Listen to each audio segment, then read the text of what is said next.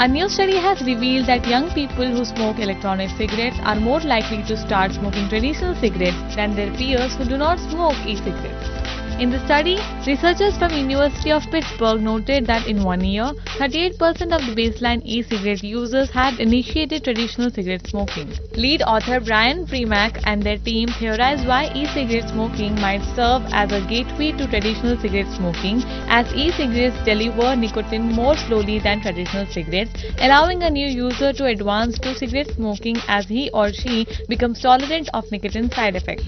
E-cigarettes are designed to mimic the behavioral and sensory act of cigarette smoking, allowing the user to become accustomed to the act of smoking.